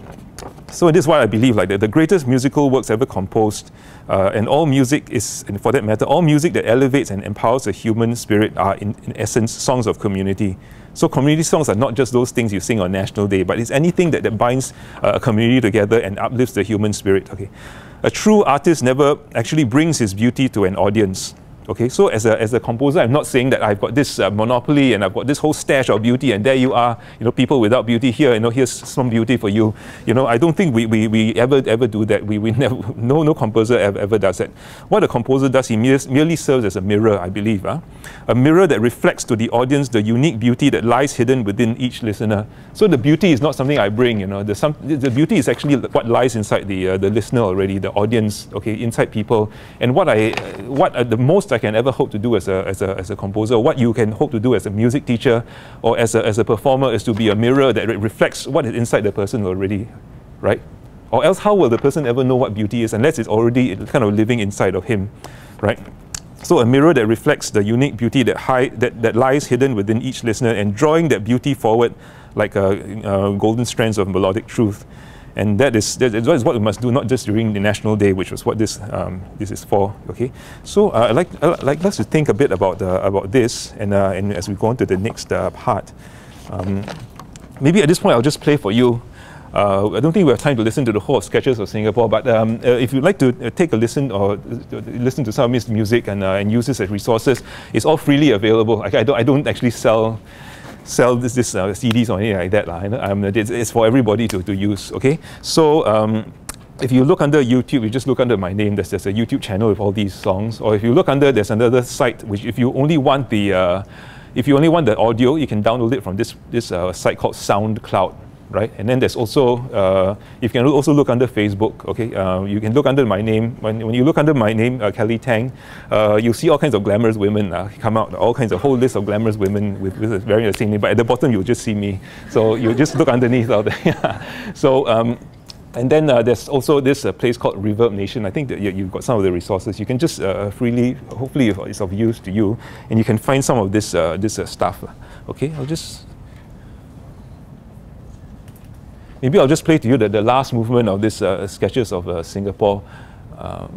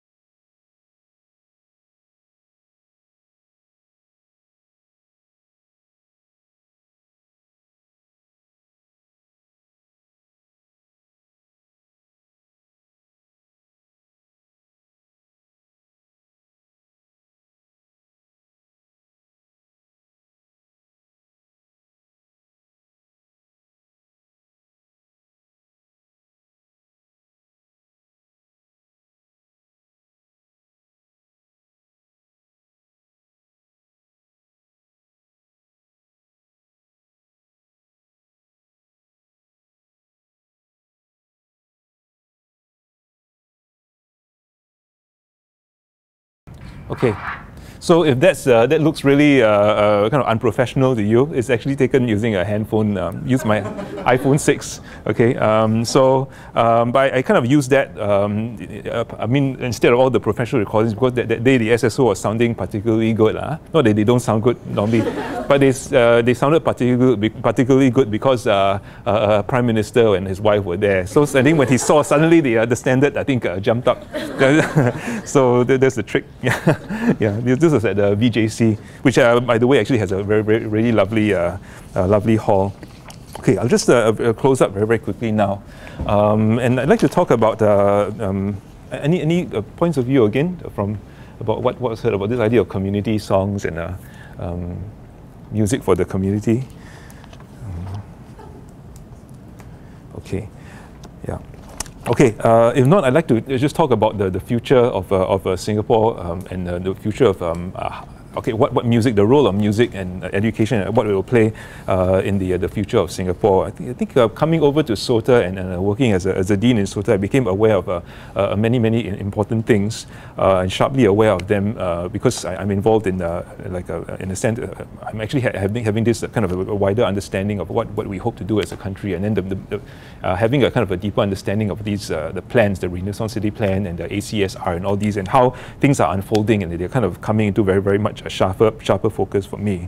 Okay, uh, I'd like to say this, okay, that um, sometimes we like to cut things up into pieces. We like to say, okay, there's music, there's your music lesson, you know, in the, in the classroom there, and there's your, your computer lesson, and there's your math and uh, science lesson, you know, and then you, you, everybody just goes about to doing uh, everything. But just like how, how music is connected and how, you know, the, the highest things and the, the lowest things are, are kind of connected, uh, the economy, what, how Singapore is going to do in the future as, as a country, the whole, when I talk about the economy, I'm talking about the welfare of the whole country, okay, every, every aspect of it and how culture uh, is, is connected to it. It's actually a, it's, it's not a separate thing. Okay, the arts and the culture are very, very much connected to uh, the economy and uh, the industry and uh, where, where we're going as a, and, uh, as, a, as a country. Okay, we always think about, you know, like uh, Singapore, okay, that in the first 50 years, we've always kind of um, thought more about survival and about industry and manufacturing and, and things like that, things like that to do with survival. And then now we're going so-called into the, the, the, cultural stage, right, where we are, we are we're kind of, kind of thinking about higher things such as art and all that. But I think that the industry and the economy and the art and culture, they're all, all very, very, very closely interlinked because actually one thing actually kind of drives the, the other thing in a, in a very, very intrinsically uh, interwoven way. And you cannot have one without the other. Okay, which is why it's, I'm starting to see, you know, starting to see the, the wisdom of how, uh, how our leaders in the beginning, they set up something like the SSO, the SCO, uh, the, the, art galleries and all that. It's not that uh, they're just doing it for the sake of art, but they saw that there's, or even like uh, in schools, having music education in schools, um, having bands, uh, having choirs, having art clubs in school, that these things were not just something uh, fun to have, but they're somehow intrinsic in, in, in actually building a very, very strong uh, uh, social, social fabric. Okay, so let's say when we look at the, the main, uh, uh, the most successful uh, business centers of the world, what, what can you think of? Which centers can you think of that you see that are really thriving in terms of a business? Okay, let's say, okay, apart from, okay, Singapore is one of them, but you can take a look at New York, or, or, or London, right, or, or, Paris, or even Tokyo. You know, what, what you see about it is not just that the business is thriving there, but, each of these uh, centers uh, have a thriving uh, cultural, cultural scene and a thriving uh, uh, uh, arts, arts industry as well. Okay? Um, and they're also flourishing uh, culturally and uh, artistically. Or if you look in the past, even at places like uh, Venice or, or Egypt, um, or, or places like Rome and Athens, okay, you, you see that human innovation is always moving in tandem with artistic uh, progress and cultural progress. That these two things are actually very, very linked. You know, we, although we kind of, you have your music lesson in class and you have a science lesson, but these things actually go together. So you notice that wherever there's a population of very brilliant and very innovative people, you also find that there's a society that actually uh, uh, places emphasis and appreciates the arts. Okay, and then wherever these, these uh, wherever we see business flourishing, you also see fantastic uh, uh, architecture, you know, great performance venues, great orchestras, um, sculptures everywhere, and very, very nicely uh, uh, designed gardens. And I think this is no accident because, okay, like, like somehow us somehow some sometimes we are led to think that the role of the arts is just something cosmetic, something that you just overlay, something ornamental, or something you just uh, paint over in the surface. But actually, it's not. It's actually very deep. The role of the arts is something at the heart of what all of us are. Whether you're, you're a musician or whether you're a businessman or whether uh, you're an economist, you're, you're a scientist, you know, um, the arts is something that actually inspires humankind to reach, reach out for, for bigger and uh, better things in all areas of, uh, of a human endeavor, okay, including scientific research, even public administration or different uh, aspects of industry. So, so when, when we realize that, you realize that arts education is not just giving some, some giving people a hobby that they can come home and relax to. Something we think, okay, we, we have this music education, art education, so that people come home, when people come home after a hard day's work, they can relax. It's much, much, much, much uh, more than that. It's much deeper. In fact, it comes before uh, any all, all, the work uh, begins. Okay. Um, so the, the role of the, uh, the, the, the, art and music teacher, you're not just the, the, the, cherry on top of the whole cake, right? You're, in fact, you're right, right at the bottom. You're, you're kind of pervading uh, the, the cake itself as, as much as the science and mathematics, because the arts is the substance behind uh, tomorrow's uh, successful Singapore. Okay, for example, when you look at, uh, you know, some of you, uh, uh, okay, Eileen, I think you went recently to, to London, right? You, you, you, you've seen the, the art scene over there. And um, I've also recently been to places like New York, Boston, um, Sydney. And I noticed when, when I compare to the, the local art scene in Singapore, there's something I, I noticed, is, which is that when when you go uh, when you go to a concert, let's say in London and watch the, the London Symphony, you notice that the audience there is, is very, very, very engaged with what's happening on stage. They're not just there kind of sitting down, you know, uh, but they're there actually, in a sense, understanding you can see that they're understanding what's happening uh, in, in the music. When they listen to a Mahler or a Stravinsky, they're actually relishing all the, the, the, the, things that are happening, the movements that are happening inside the, the music, the different uh, uh, modulations, the, the different changes in rhythm, the texture, they're all cued in to all these uh, nuances uh, in, in, the music, right? And you see what, what happens when, when, when people are like that, so, so clued in, and you see always the, the, the hall is, is packed. And the same when I when, went to Sydney, I brought a group of students to, to Sydney a few years ago. Um, this was on a Monday in the middle of the day during lunchtime, you know, and then there was the, the Brahms, uh, okay, um, it was just a Brahms quartet the performance, and then the whole the whole place was actually packed. We had to kind of line up to get in uh, because the people just uh, loved being there, and they were, they were kind of so so in a sense uh, uh, into the the music. So what happens uh, when when that hap- what what happens when you have a scene like that is is that even when, let's say in Singapore, when you have, you, we can import the best performers to, to Singapore, the, the best orchestra, let's say you bring the New York Phil and just plant it here in Singapore. But when there is no audience who can actually appreciate what they can do, who can, who, uh, who's not there to encourage them to say that, you know, we are here and we expect you to have higher performance. And when you do something magical, I can appreciate it. The orchestra will not want to work hard really. You know, the best musicians will not want to work hard for you because they know that what, they, they, they, uh, whatever they do doesn't make a difference to anybody. It's just like playing to the blocks of wood. But I think when the, the audience is, is kind of like a sensitive and we start to have this higher level of, uh, of, uh, of uh, sensitivity and of understanding, then what happens is that, uh, this is what actually powers up the, the performances. That's what makes the performances even better. So if you've wondered, uh, if, you've, if you've heard people say, okay, well, the SSO is this or the T'ang Quartet is this or that, I mean, uh, very often you, you, you see that the, the, the audience has, has, has, a great part to play in encouraging these, these performers to, to rise up to a higher level. So, so I think it's, it's very, very important because, and then that, what happens is that there's a kind of a cyclical effect because when the, the, when these performers perform to that high level, they can actually inspire those people who attend. Let's say whether you're, you're a school principal or whether you're, you're, you're in charge of transport, you know, or whether you're, you're, you're in, in involved in some kind of scientific research or you're, you're uh, doing some kind of a public administration or business or whatever, that people come there and they get inspired by the music, you know, but to, to even uh, do better. And then you have a, a, kind of a cycle, you see, because the, the audience will egg the uh, performers to perform even better, and then the performer will actually uh, perform even better to inspire uh, these, uh, whoever it is, right, who, who's, out there in the, in, the, in the industry. And then this is how we, we get a, a, kind of a vibrant industry that we, that we see in, in all kinds of places, and Singapore is kind of on that way uh, to do that. So what, uh, how does that uh, uh, relate to Singapore? This kind of, a kind of ecosystem. So it's not just about good performances. You can bring the Berlin Phil in or whatever. It's not just about the Berlin Phil. It's about the people behind the supporting the Berlin Phil. And these people are the people that we, uh, as music teachers, will, will, will, will kind of train, will, will cultivate and nurture to be that audiences, to be the power cell, to be that kind of like a, a power generator who's going to power up the, the Berlin Phil of tomorrow, which is hopefully will be the, um, maybe the SSO, right? Okay so there's a kind of ecosystem, and the, the more uh, uh, I think the, the, the more uh, uh deeply we understand the, the nature of music education and of the audience in this ecosystem, I think the more we understand what what you you and I in the music classroom need to do to prepare uh, this uh, these people, and also. so right now you see that there's in Singapore I don't know if you sense this that there is a kind of a void Not to say that there are no void in other places, but there's this performance on stage, you know, and there's this great music on stage that the government has put up so much, uh, uh, you know, like put in so much to, to put up. And then there's the, the audience, and slowly through MEP and uh, through all the music programs, through band and choir, people are starting to appreciate appreciate more of what's happening on stage. But we, we need to kind of close that gap, and that's the job of us as a music uh, teachers to be able to put in in the middle, okay, these performers, and then also we, we have to have kind of like little little kind of like a, a strata, like they could be kind of um, uh, like OMM, uh, amateur performers, or kind of a community bands, community choirs, and have many, many different stages of musical performance so that that gap between the, the community and, and the, the performances are, are bridged. And then there's, there's a, the, the, the ecosystem uh, becomes uh, complete. Okay, and then the other part, of, uh, apart from kind of um, generating or, cultivating uh, tomorrow's audience, what we as music teachers uh, have to do is that you, you realize that the people who are actually creative, the kind of creative thinker of tomorrow, okay, if you think about it, there's so much automation going on with technology.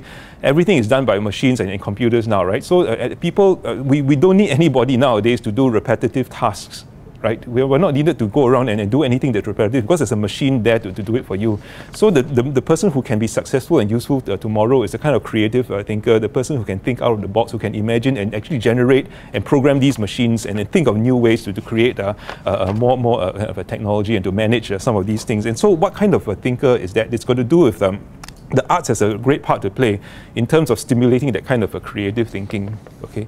Which means that in the classroom, how can you, in a sense, uh, uh, um, uh, create music lessons that can, can, actually kind of use use the arts to to, to create that kind of um, um, that kind of a thinking. Okay, and this has to do with um, unlocking. Okay, so it has to do with kind of bringing music into classroom because in, in the music you see genius so much genius in, in, in music, right? I mean, uh, you take a, a Bach piece or you take a piece of a, like a jazz piece by, by Miles Davis or, you know, any, any kind of a, a, a great music.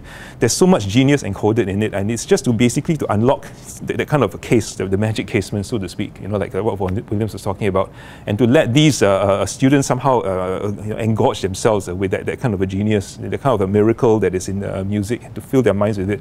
And I think when they do that, it, it can inspire them to be that kind of thinker you know, it, uh, that, that's, that's, that's going to be successful in uh, tomorrow's world. And um, we need to do that, I mean, from all the way from NA to, and from NT all the way up to uh, MEP. And uh, so the question is how we, uh, how we are able to do that. And, and I think it's, of course, it's difficult, but I, I myself have known how difficult it is to, to see NT people. And, but then there are ways to do it there are ways to un- unlock the magic case. It may not be Beethoven, it may be a boy band, right? It may be whatever it is. Just, use whatever uh, you, you can pick up from the ground. Uh, it's like, like a battle. You can't just say, okay, I'm gonna, I must be equipped with the best gun to fight. I mean, you pick up whatever you can. You pick up a stone. If it's a stone, you pick it up. If it's a piece of wood, you pick it up. Because this battle is, is a, you know, it's, you, you just pick up whatever and improvise, whatever you need in the field.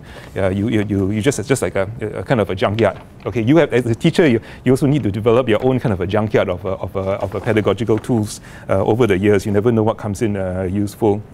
Okay, so um, just okay, just in uh, in very, very quick closing, I think uh, in Singapore we've been we're, fortunate to have been given tremendous resources, uh, and we can see in SOTA that that's why in, in Singapore we are attracting so many uh, teachers who come from overseas because uh, there's so much money and resources being pumped into education. I think we, we, of course I think we, we all appreciate that. And, uh, and what I, I, can see, what, uh, which is uh, what STAR is trying to do, and I'm very encouraged, is that, that, that uh, many of us are, are continuing to become uh, musically engaged. Okay, uh, we, are, we are kind of involved in, in a, a, musical performance, and we dedicate time also to, to, to attend concerts because I think students will never start learning from a teacher who has stopped learning. Can I say that again? I just thought of this line. A, a student will never start learning from a teacher who has stopped learning, um, which is why from the first day that I became a, a music teacher or when I was a trainee, I, I felt that I, music practice is something I must never stop uh, engaging because the moment I stop, uh, I will lose my validity as a teacher. I, I, will, even though I still have my, my NIE uh, certificate, it's, called uh, my diploma, I always have it. Uh, but the moment I stop uh, practicing music, you know, or, or, or, composing, I have lost my, my license, you know, my, my moral license, my, my, my, my, moral validity to go into a classroom really. I'll, I'll be a fake. So I, am just so encouraged to see STAR providing opportunities for, for teachers to, to play and then to, and then I think we see so fantastic uh, performances by teachers at the Esplanade and, uh, and all other other places. Uh. I think Eason, uh, we just uh, you know, we played, played that, that, that, quartet the other time, uh, a quartet of Singaporean folk songs. Um, okay, so um, Um, and the other thing is, I think we hope we, we, we, hope to be able to encourage students to see musical passion or musical learning as a continuum. So it's no longer like, like you know how we say uh, we bring, bring a truckload of music and we pour onto the onto the students. It's never like that. Uh, it's never that of kind of delivering uh, music uh, to the student, but uh, what happens to the student after you deliver all this? Okay, like how many how many children did Bach have? You you know you share. You know, what are the features of Debussy's music, uh, the whole tone scale and all this? What do they what do, what do they do after that? I think what's important about you got to think 20 years from now when you teach in class, even today, tomorrow you teach in class, you got to think 20 years, 30 years from now. What's the student going to do with what what you're you you give is, is what you're giving him actually enough to sustain him for the next 20 to 30 years? Okay, so I think that. Uh, um, uh, teaching music is not so much about dumping information or, or you know like uh, onto them, but actually opening doors. Okay, opening doors for them that they might not even enter until 10, 5, 10 years, 20 years from now. Okay, so maybe you might uh, open the doors to, let's say, let them, let them listen to the music of uh, John Coltrane, or, or, let them listen to, to, to a bit of uh, Chinese uh, uh, instrumental music, you know, or let them even listen to, to, to Ella Fitzgerald. Okay, so just one short, short, short but they, at least they know, and then maybe they might not do it today, but then six years later they will get you know, that's the thing about people, you know, when, when the kind of uh, musicians they listen to today will not sustain them because they get bored very easily, right? So after that, they get bored of the latest pop stars, what do they go on to? There's got to be something. And then, then they'll remember, oh, teacher taught me about this, and uh, I'm now let, let me explore because they'll be looking for other sources of musical nourishment, and they need to have, uh, you need to have these so-called unlocked doors uh, throughout uh, the, the, rest of their lives. And so they'll remember you, okay, teacher taught about this, and then I want to get into this now. Teacher taught about that, that composer, and then now it's time for me to get into that. So uh, we've got to give them things uh, to, to help them along their, their journey long after we are we stop being their, their teachers. So as a teacher, what are you equipping uh, your student for? Is it their journey, you know, like 20 to 30 years from now? Is it just you know, kind of dumping, uh, dumping information for, for them? Okay, so uh, can I just uh, close with a very, very short piece of music? It's about, uh, I think, two and a half, uh, two and a half minutes. Um, is this uh, piece again? Uh, this what I'd like to illustrate with this piece is that uh, when I when I write these pieces, uh, I, I kind of can kind of get the teacher out of my, my myself as a composer. I can't get the composer out of myself as a teacher. I see them as kind of the two and the same thing. Uh, but when I write these pieces for schools, this was actually written for ACJC uh, choir. but um, when I when I wrote it, it was it was it has to do with a lot of things I wanted to for the, the, the, the choir to learn about textures, about harmonies and modulations, about dynamics and all these things. So these kind of um, I, I try to kind of like uh, make the uh, piece uh, nourishing. Okay, so it, sh- it shouldn't be like a junk food lah for the kids. Sometimes you know that you, you, you people write write the stuff that's fun to play, but it doesn't give the, the kid anything. But what I try to do is to, to try to provide some a nice kind of a hook, a nice melody, but at the same time, there's, uh, they don't know that while they're eating something uh, that, that tastes good, uh, you know, that there's also some kind, of, some kind of nourishment behind. So I'd just like to maybe close up this this piece which I wrote for ACJC in the 2013. That was a, a kind of a, a strange year because I was kind of, so, so I did a lot of, usually I write a lot of stuff in a year, maybe five, six, six pieces, but that year I only wrote one piece, kind of I took a break, but I, I only came out with this, this one, one piece. And uh, it's called a, a Pater, Pater Noster. Uh, just like to play play it. I think they're, they're quite an amazing uh, choir, uh, conducted by, by uh, Principal Valerie, Valerie Wilson, also an educator. I think you've got the score. So I, I wonder if you just take a look at it, you'll see that um, uh, while there are, there are parts of it that are made to kind of appeal to, to, to young, to, to young uh, uh, students, uh, at the same time there are all kinds of like a, uh, uh, kind of like a technical features about it that are meant to kind of teach about texture, about modulations, about rhythms and, and things like that. Okay, so well, I'll just close with this, this short little piece.